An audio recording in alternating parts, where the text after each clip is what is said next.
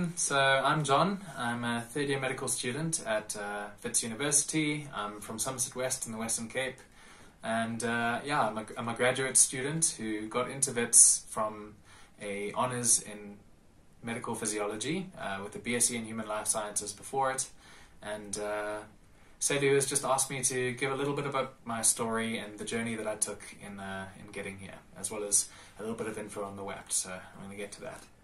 So uh, for a very long time, it's it's kind of been my dream to be a medical doctor. Um, I've been obviously trying for, for quite a few years now. It's it's taken five years and uh, 17 rejections to get me here, um, but all worth it definitely. Um, but yeah, so for a very long time, it's been my dream to be a medical doctor. And to be honest, firstly in, in matric, I, I definitely didn't take that dream seriously. Um, I had a lot of things going on at the time, and I should have definitely prioritized academics more, especially seeing as med school requires you to have such good marks. Um, but uh, I managed to finish matric with uh, four level seven distinctions, and uh, the rest were level six. Um, I had applied for medicine at Wits University, Stellenbosch, uh, Tuks, University of Free State, and UCT, um, all of whom rejected me in the first year. Um, which was uh, very disappointing. But uh, thankfully, they had accepted me for my second degree choices, which at the time were a BSc at Stellenbosch and a mechatronic engineering slash mechanical engineering at the rest. So I decided to go with the BSc because I thought, hey, it'll give me the best chance slash uh, maybe a foot in the door in medicine. Um, and uh, to be honest, the same kind of thing happened. It was a clash of priorities in my first year. I definitely embraced the student life way too much. Um, and lost sight of the goal. So I ended up my first year with um, around 70%, probably less than actually. Um, and it was only really in my second year of BSc that I had kind of began, or I had first heard about the graduate entry medical program at Wits, which I'm sure many of you know by now is just this awesome little program that they have at Wits, which allows graduates or people with bachelor degrees or more um, to hop straight into third year. Um, and it's, it's, it's honestly fantastic, but you've got to write this Wits additional placement test in October, which can be very stressful. Um, so the penny had kind of dropped then when I found out in second year, um, in the second semester uh, thereabouts. Um, it was already too late for me to save the first half of my degree, but core I was going to give it my all in the second half.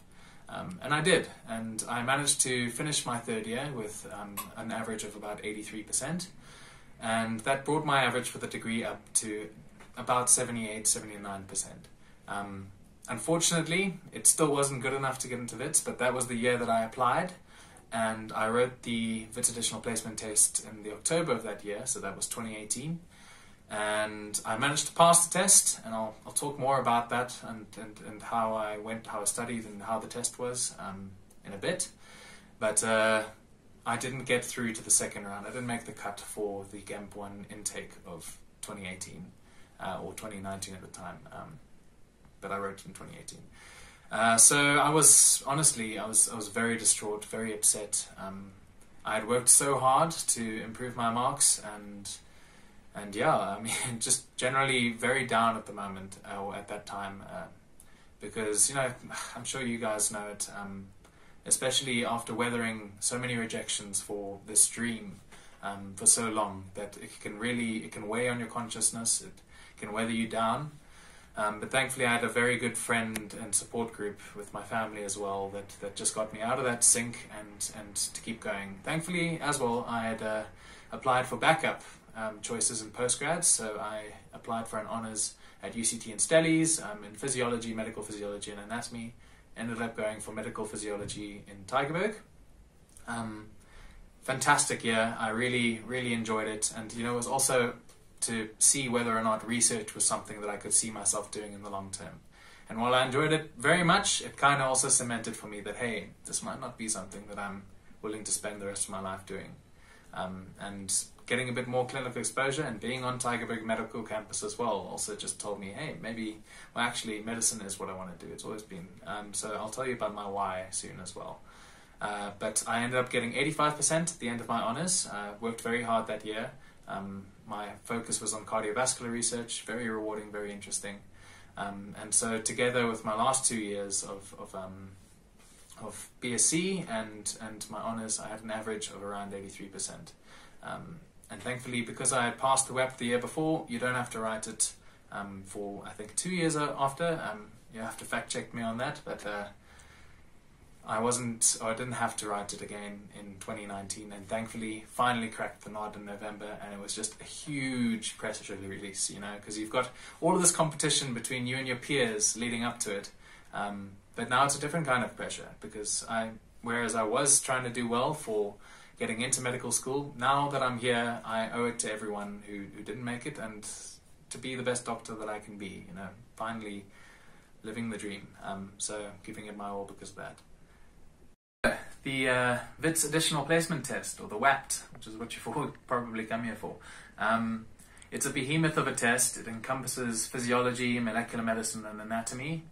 And honestly, it can just be a lot of pressure at the time, just uh, leading up to it. It is a lot of work to get through. Um, so my suggestion would be to structure it very well in your studying. Uh, when I was preparing for the WAPT at the time, uh, I had a lot of other things going on for my BSc, uh, which no matter what you're doing, whether you're doing a postgrad, um, that takes precedence definitely. Um, you've you've got to do well because that'll do more for your application than just simply passing the WAPT, which is basically a binary you pass or you fail kind of test. Uh, so in my preparation for it, um, I decided to take the study smart as opposed to study hard method and I pulled together a few friends and we took the course objectives, which you can find on the website online for the WAPT, and we went ahead and we answered them. We worked through it probably about two months before the test. Uh, we probably started working on it about half a month or a month after we had found out we were invited to write the WAPT. And that was basically just leading up so we could have like a summary to go through and cram through in the last week because I know myself and unfortunately I am not someone who has a lot of motivation to study for a test months in advance. I'm definitely in the cramming category, unfortunately, always have been. Uh, better in a short period of time under lots of pressure. And it, it, can seem like a lot of pressure at the time, so the summary seemed the way to go at the time. Um, and I believe that there is actually one that's supplied by, I think, AMP'd for WAPT at this current juncture. But at the time, we didn't really have that, or I couldn't find it, didn't have access to it, so we made our own. And that really helped. Um, in the week before I got to, uh, week before the, the WAPT, I flew up to Joburg uh, from Stellies and, uh, or Cape Town. And thankfully, I had friends who could put me up for about a week and feed me uh, while I stressfully crammed my way through all the work. Um, my strategy was simple. I was going to read through my summaries twice over in full, and while I went through them, I had a exam pad on the side where I would just jot down the things that I needed to work on, the gaps, and what I knew I might need to actually just have another look, and or in the case of anatomy, memorize. Uh, and that really helped. And I left the last day or two um, just for going through the example questions slash a past paper kind of deal if I could find it on online. And that definitely, definitely helped because I'm sure one or two, there were a few instances in the papers where it came up.